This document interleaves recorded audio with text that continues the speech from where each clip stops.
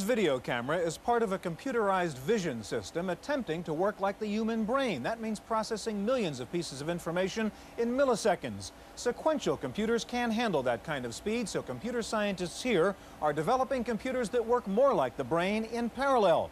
Today we take a look at the cutting edge of the search for computer speed, parallel processing, on this edition of the Computer Chronicles.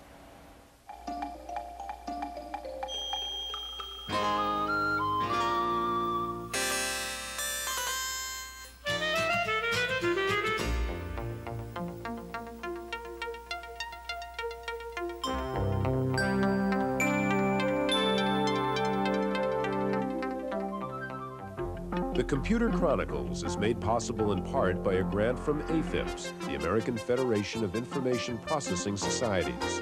AFIPS, sponsors of OAC 86, the nation's leading conference on business technology. For conference information, call 800 OAC 1986. Exploring today's business solutions. Additional funding is provided by McGraw Hill, publishers of Byte. Byte's detailed technical articles on new hardware, software, and languages cover the latest in microcomputer technology worldwide. Byte, the international standard.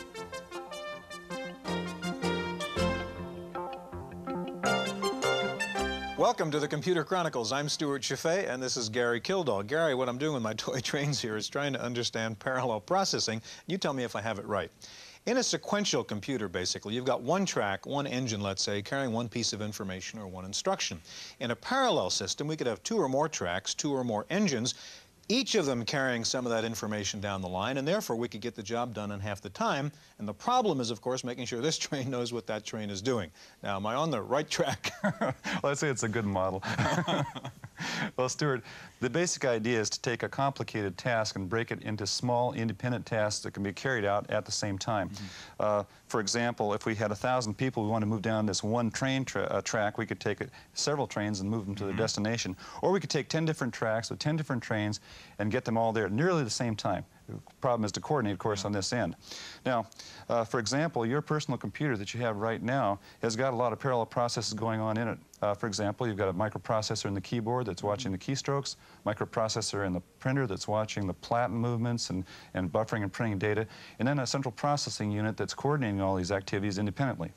Well, today we're going to try to find out more about parallel processing and try to understand it. It's certainly a very important area of computer research right now. We'll meet some of the top researchers and scientists in the field across the country, and we'll actually show you a parallel processing computer so you can see for yourself how fast it really is. We're going to start with a background look at parallel architecture, and we'll help try to help you understand why we really need it. Towering over micros, minis, and mainframes are the supercomputers, machines that can match one fingerprint among millions, simulate the forms of life, and design the weapons of doom. This kind of computing power, combining tremendous speed with processing capacity, has been the exclusive province of machines costing tens of millions of dollars. But a widespread interest in parallel architecture may change that. Parallel processing, or the dividing up of computations between processors working in unison, can be accomplished in different ways. The data bus is the most common method, but is effective only for a limited number of processors. The distributed crossbar is another way to distribute processing, although the need to interconnect each processor puts a practical limit to this system as well. The ingenious butterfly switch network is one way to expand the crossbar, permitting up to 256 processors in all. But regardless of the method used, the multiprocessor super minis are giving new number crunching power to specialized users. In San Francisco, the University of California recently installed a parallel processing machine for molecular modeling studies. The 64-bit machine from Floating Point Systems is capable of 38 million floating point operations per second. The new machine can reduce a night's worth of calculations to a couple of hours. With the help of their new computer, the department produces some of the most remarkable graphics ever seen on a computer screen thank you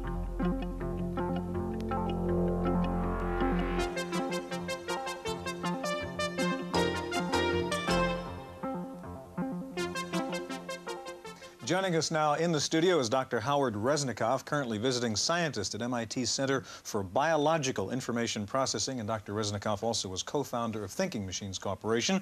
Also with us, Dr. Eugene Brooks, a physicist who was involved in parallel processing research at Caltech and who is now involved in the same area at Lawrence Livermore Labs. Gary? Howard, what does biological information processing have to do with parallel processing? That's a good question, Gary. Uh, certainly, the most proficient parallel information processors are biological organisms. Let me give you one typical example. If you're driving your car along the street and a child runs out in front, within a tenth of a second, you respond and have your foot aimed toward the brake. What went on in that brief period? Well, light hit your eye, it traveled up the optic nerve, your brain created a plan, compared the information with some stored knowledge, and sent signals to the motor system to move your muscles. Now, the neurons uh, in your brain switch in a millisecond. You had only a tenth of a second in the entirety. So the program that does this is only 100 steps deep. Mm -hmm. There must be an enormous must amount of parallel mm-hmm. processing. Mm -hmm. Absolutely. Now, at Lawrence Livermore Labs, there are uh, everyday problems being solved there. How is parallelism applied there in solution to problems? Well, we apply parallelism at Livermore Labs to, to do two things. Uh, one is to reduce the cost of a problem, uh, that the to reduce the cost of a simulation, rather, the idea is to apply several cheaper computers uh, to a single simulation than to apply one more expensive computer. Mm -hmm. And the other is to reduce the time at which a physics simulation takes. In order to make progress uh, using physics simulations, you have to get your answers back quickly enough that you don't forget what the problem was to start What would with. be a typical uh, physics problem that you might solve? Well, there are many problems you might solve. Uh, there, there are weather simulations. Uh, there are simulations of the deformation of, of metals. Mm -hmm. there, there are a variety. Well, let's take weather simulation, for example. What's inherently parallel in something like that? Well, in a weather simulation, you, you divide up the space, the physical space, which you're simulating into a large number of zones, and the update of the physical characteristics of each zone uh, may, may go on in parallel, subject so to some information from the, the, the you neighbors. Could, you could compute each one of these, these zones separately and in sequence, but in this way, you could, using your parallelism, you can just do them all together. Yes. Then. Eugene, what's the factor of speed we're talking about in solving, doing a weather simulation with a, with a Cray or doing it with a parallel approach? Well, the, the, factor in speed that you get when you when you use parallel processing uh, to apply when you use parallel processing to solve a problem is very much in question, basically because the you might see a large amount of parallelism in a weather simulation, many thousands or millions of points that could be updated in parallel, but the cost of organizing the computation uh, tends to interfere with effectively using that many uh, parallel processors on the problem. So, so there's some range of parallelism that you have to exploit in order to utilize a processor efficiently. Howard, um, if we take a look at the problem, let's say biological simulation and so forth, are we, are we going to see parallel processing applied to actually artificial intelligence, for example? I think we've begun to see that already. Mm -hmm. The example that I gave of biological vision is, of course, very similar to the examples of machine vision. But you have to realize that the amount of computing resource that's required is much greater than any serial machine can provide today. In the biological example of the human eye, uh, there are more than 2,500 megabits per second of data falling on the eye. No machine available today is able to deal with that. Mm -hmm. Eugene, uh, when you were at Caltech, you worked on one version of a parallel processing machine called the Hypercube. Now tell us what the Hypercube approach is. Well, the Hypercube approach was a message passing architecture where you, you use, utilize many CPUs that were connected to each other and effectively sent computer mail to one another in order to get the work done. The data of the algorithm had to be distributed amongst all the CPUs by the programmer. Look, and how, you, you talk about biological. How good is the brain, as an analogy to look at, as a biological example of how to develop a parallel machine? That's a very complicated question. We know so little about the way the brain works. Uh, some people think there may be as many as 10 to the 12th neurons. That's a very large number. Electronics is not going to build machines that complex. On the other hand, they're very slow units, they're extremely unreliable, there must be a great deal of redundancy the more fundamental question of how to structure the programs, the algorithms, seems to me to be the place where most progress will be made. Mm -hmm. And I think there must be general principles that underlie both electronic and biological information Okay, gentlemen, processing. we'll continue in just a moment. First of all, let's go take a look at a real parallel processing computer. We'll look at the Elxsi, and Wendy Woods has that story from San Jose. All computers will be parallel processors by the year 2000. That's the prediction of Elxsi's president, whose firm makes the Elxsi 6400. Capable of operating up to 12 simultaneous CPUs, the 6400 is lightning fast, processing at a fraction of the speed of conventional serial computers, which is why it has already been sold to 60 major customers. For example, uh, General Motors is using parallel processing to design car bodies and to design uh, parts for its vehicles and do structural analysis on its vehicles. The semiconductor industry is using parallel processing to design chips for new computers they can get the same calculation for probably one quarter the price that they can using a single processor. Parallel processors don't come cheap. The top of the line 6400 costs nearly $3 million. But Elxsi sees this technology coming down in price and size as the industry realizes its potential. Personal computers that are used in, in business today will be parallel personal computers in, in 10, 15 years' time. It's the natural step to take. If you, once you accept that we are running out of performance in serial processors, then developments will be undertaken in parallel processes. Elxsi sold $22 million worth of hardware last year.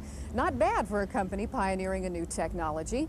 And this year, the company not only expects to break even, but to make a profit over its initial investment, after which the sky seems to be the limit. For the Computer Chronicles, I'm Wendy Woods.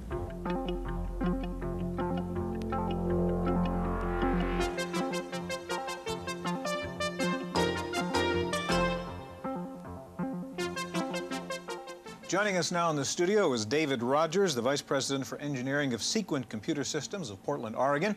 And back again with us, Dr. Howard Resnikoff of MIT. And if you hear a huge roar in the background, that's David's Sequent computer over there, which we're going to get to in just a moment. Gary? Howard, uh, at the beginning we had 10, uh, 10 trains colliding at the train station. Here's an example of parallelism. How well does that really model parallelism? Well, Gary, as you said, it's a good model, but it's not perfect. Uh, for, for instance, for database search, where one is seeking some particular string, that works fine. For, but for problems of the type that Eugene was mentioning, the processors have to communicate a bit. And in that case, the topology of the network becomes important. Right, right. Okay, David, there's some incredible things going on on the screen on your computer now. Tell me about this demonstration you're going to show us on the Sequent. I'm, I brought with me today an example of a computation which can be divided into parallel segments. Uh, the calculation is known as the Mandelbrot set. It's a, a, set of numbers in the complex plane, and it's a good example of a problem which is suited for parallel processing because it can be divided up and run on multiple computers simultaneously.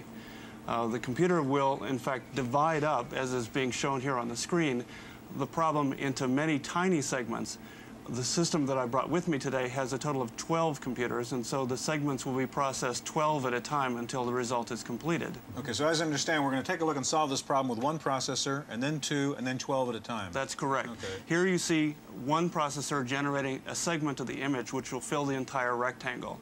Then in a moment, we'll add a second processor, and you'll see that the rate of rectangle appearance is doubled. And then finally, we will add all 12 of the processors, and you'll see that the rectangles are going okay, up. so at the moment, we're seeing a visualization, really, of the rate at which one processor is solving this problem. This is actually the second, right? Right, we're now up to okay, two. we're now up to two processors right. at a time. And now all 12 will be at work. And you see that the rate of execution is gone up linearly, which is one of the advantages of parallel processing. Mm -hmm.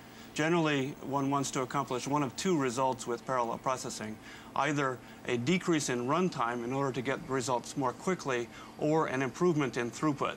One is measured in results per unit time, and the other is measured in time to reach a single result. David, we talked about the hypercube as one architecture a few minutes ago, and what is the architecture you have? Give us a little explanation of what these architectures, different architectures do. Yes. The hypercube is an example of a connection machine, a, a network of computers talking to one another, uh, not sharing the same memory. Mm -hmm. Uh, the machine that I brought with me, the Balance 8000, is an example of a closely coupled multiprocessor. All of the processors share access to the same data at every instant in time. One would use a connection machine for problems uh, where the rate of communication among the processors is lower uh, and the distribution of the data is higher. And conversely, with closely coupled machines, one works on problems where the intercommunication is more frequent and uh, the volume of data is larger. Now, if we apply this to, let's say, the personal computer industry to some extent, is there is there any application, let's say, of parallelism in, in personal computing you can think of? Uh, the recently announced PCRT actually allows for parallel computation. Uh, the uh, RISC technology machine can be doing engineering and scientific computations, and the uh, PC-compatible engine can be doing um, more commercial-oriented applications how about like applications spreadsheets. to, uh, let's say, let's say in uh, graphics? Well, as you probably know, uh, many computers that we think of as single computers today actually consist of several microprocessors, each dedicated to a specific function. That kind of functional distribution has been employed for a long time. Howard, we just saw 12 processors at work in David's Sequent machine. Now, you were involved some time ago with thinking machines, and they have a massive approach, don't they? Tell us about that machine. Yes, the Thinking Machines connection machine has 64,000 processors, uh, each of which is a relatively simple one, however, and again, a hypercube interconnection network. And so for a machine like that, which uh, operates in a, an SIMD control mode, which means that there's an orchestra conductor giving the same instruction to all of the processors, graphics problems, uh, problems that are related to image processing, and a wide variety of others as well can be treated in a way that's similar to what you see here, but on a much more massive scale. David, what are the applications in which your Sequent machine is being used? We uh, fall into several categories, uh, some which are runtime oriented and some which are throughput oriented. The runtime oriented ones are, uh, like the example I brought with me, graphical applications, simulation of physical systems, as Eugene Brooks talked about. Um, the throughput oriented ones tend to uh, be transaction oriented, those things where a large number of people want to have access to the same database. Okay, gentlemen, thank you very much. That's an impressive demonstration. Now, one of the leading research centers in the country for parallel processing is Carnegie Mellon University in Pittsburgh. In just a moment, we're going to go to CMU and take a look at the WARP project, so stay with us.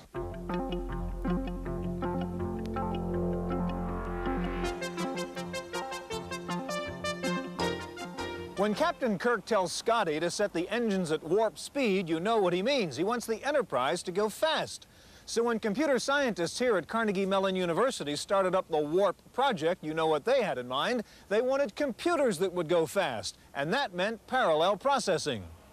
The computer scientists here at CMU are trying to build a parallel machine that can provide the computer power needed for vision processing, essential to the future of robotics. Because vision processing is easily divided up into separate computations, it seemed ideal for parallel processing and the localized memory approach of the warp machine. Vision processing requires tremendous speed just to do the filtering needed to eliminate erroneous images, such as shadows or debris. A vision processor must perform 20 calculations per pixel per second.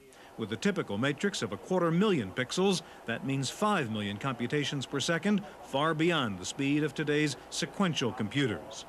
Dr. H.T. Kung heads up CMU's Parallel Architecture Computer Project, and he says building the machine is the easy part. The difficult thing is usually in parallel processing is uh, that after hardware is built, we don't know how to use it. That's the biggest problem. We want to make sure that uh, that whatever piece of hardware we build, we have ways of using it. So Dr. Kung's approach is to build a parallel machine with a very simple architecture. We want people to be able to use the, a warp machine in a, in a programmable way so that uh, they can change their algorithms, they can change their computation models uh, anytime, and we, we should be able to support Okay, so what we, we have is a very simple machine sort of in the hardware level, but we build a lot of so software on the top of it. To be useful in vision processing, the warped machine not only has to recognize what it sees, it has to first translate the distorted images from its lens into the normal linear aspect ratio. And that computation requires tremendous speed, since the image is constantly changing as the computer scans its environment.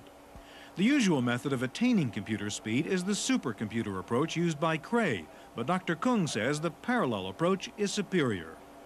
This will be the basic, basic uh, difference between uh, uh, do, uh, doing things uh, very fast, but uh, you know, very sort of big physical hardware and doing things very fast on a small piece of hardware. If you will be able to do things fast on a small piece of hardware, you will be able to find a lot of new uses of it you'll be able to carry your processing to the place where, where it needs.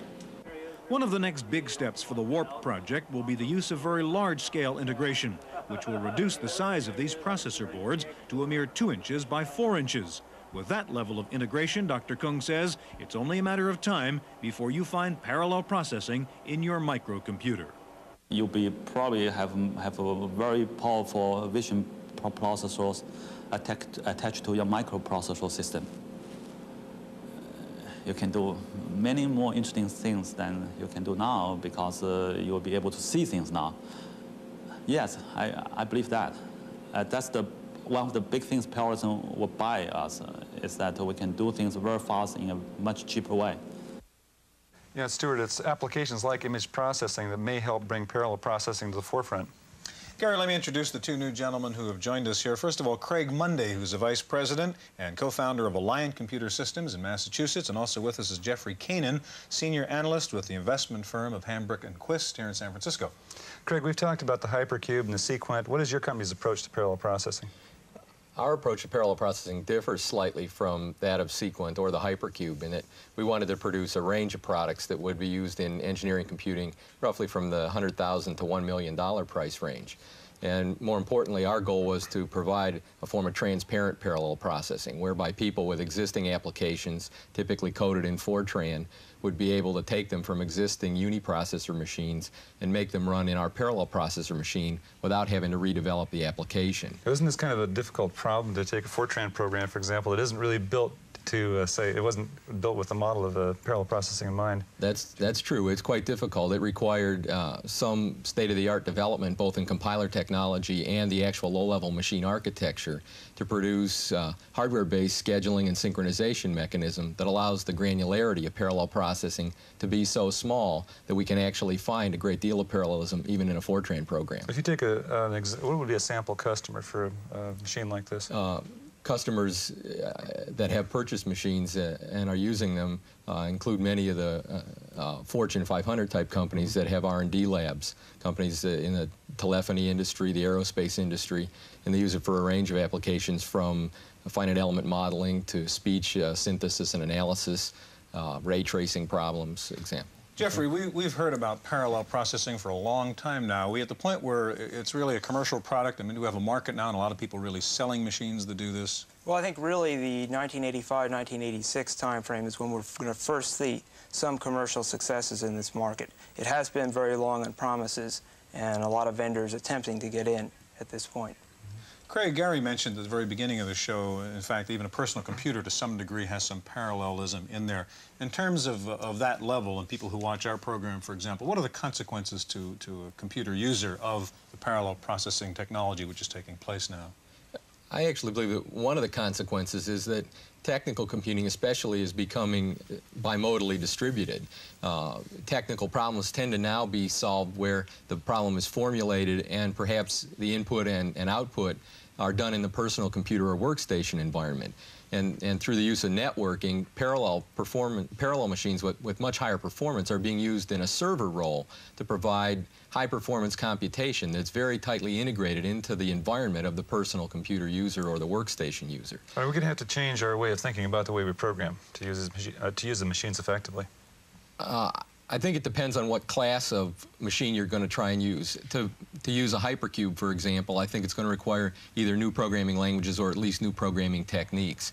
Uh, as I said before, the, the, the goal Alliant had was to be able to get reasonable efficiency as you added numbers of processors, even for languages like Fortran that were uh, traditionally only used in scalar processing. Mm -hmm. So I think both, both will happen.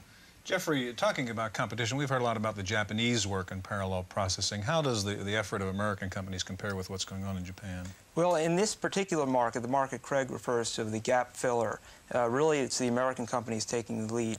The bulk of the Japanese effort is truly at the high end in the area currently served by uh, Cray Research and Control Data. Now, is this another area, I, I, get the feeling, where the hardware is quite a bit ahead of the software, and really the work that has to be done is to find more ways to use the technology? I think that the significant progress has been made lately in both areas. uh, both in the development of new languages and also in the development of improved compiler technology that will allow uh, parallelism to be found at a low level and, and mapped into machines that have been very carefully designed to support that. Now, also, it looks like a, the, the emphasis really is on scientific world to some extent. Is that true, or do we see business applications coming up for parallel processing? I think there will be business applications. Uh, personally, I believe especially in the database management arena. Uh, there's a great deal of potential parallelism to be had there. I think uh, the companies, for example, like ours and Sequent and other startup enterprises have been driven into the uh, high-performance engineering and scientific computing market, partly just due to market conditions and the presence of the major players in the in the data processing arena, uh, and partly because the technology is uh, very applicable uh, or more readily applicable to a, broad array of engineering problems. Mm -hmm. Gentlemen, we're out of time. We need parallel television, Gary. Okay, thank you very much for being with us. I'll be back in just a minute with this week's computer news.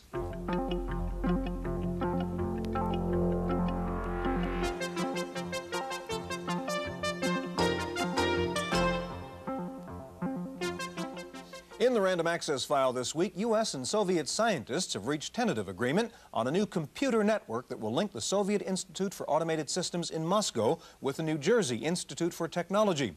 The new computer network will allow Soviet and American scientists to share databases and work together on a variety of research projects.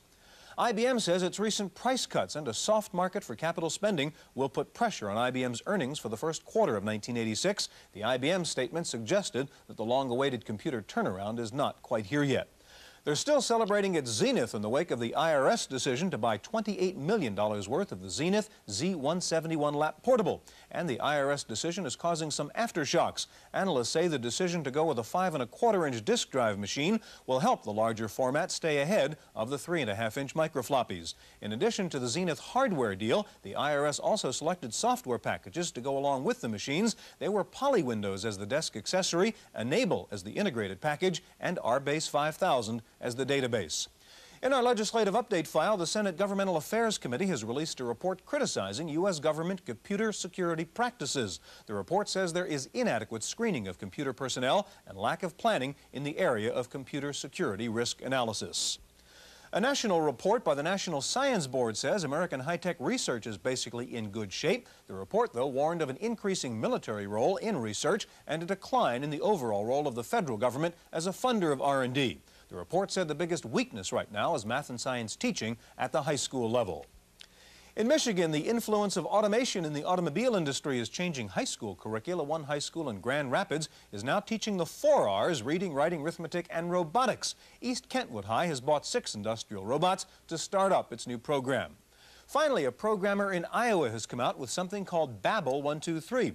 It's a speech synthesis program that's designed to talk in a calming and loving way to hogs. Swine researchers say hogs eat more and get fatter faster when they're happy. And research suggests that being talked to gently makes them happy. Babel 123 is being tested this month in Fairfield, Iowa. That's it for this week's Chronicles. We'll see you next time. The Computer Chronicles is made possible in part by a grant from AFIPS, the American Federation of Information Processing Societies. AFIPS, sponsors of OAC 86, the nation's leading conference on business technology. For conference information, call 800 OAC 1986. Exploring today's business solutions. Additional funding is provided by McGraw Hill, publishers of Byte. Byte's detailed technical articles on new hardware, software, and languages cover the latest in microcomputer technology worldwide. Byte, the international standard.